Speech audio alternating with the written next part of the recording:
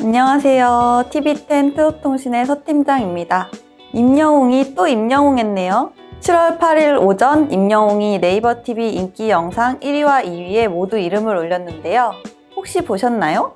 1위 영상에는 임영웅이 부른 샘 스미스의 I'm Not The Only One이 2위에는 노브레인의 넌 내게 반했어 무대 영상이 올랐습니다. 임영웅은 역시 장르를 가리지 않았는데요. 설마 팝송이나 락 장르까지 소화할 줄은 몰랐네요. 정말 대단해요. 또 임영웅은 가온 차트에서 진행된 27주차 소셜 차트에서 3위에 이름을 올리기도 했는데요. 글로벌 톱 그룹인 방탄소년단과 블랙핑크와 나란히 톱3를 차지했습니다. 오직 국내에서만 활동하는 트로트 가수인 임영웅이 글로벌 그룹과 어깨를 나란히 하다니 정말 놀라울 수밖에 없네요.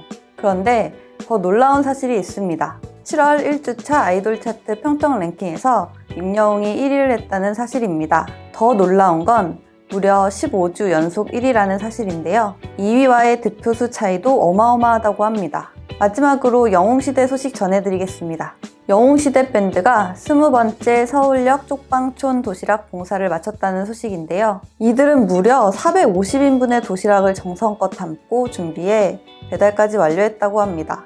영웅시대 밴드 측은 뜨거운 불 앞에서 음식을 만들면서도 임영웅의 노래를 벗삼아 즐겁게 봉사했다고 전해 훈훈함을 더했는데요. 맛있고 따뜻한 음식만큼 마음씨도 따뜻한 영웅시대네요. 지금까지 버릴 소식이 없어서 준비한 트롯통신이었습니다. 그럼 오늘도 건강하고 행복한 하루 보내세요. 안녕!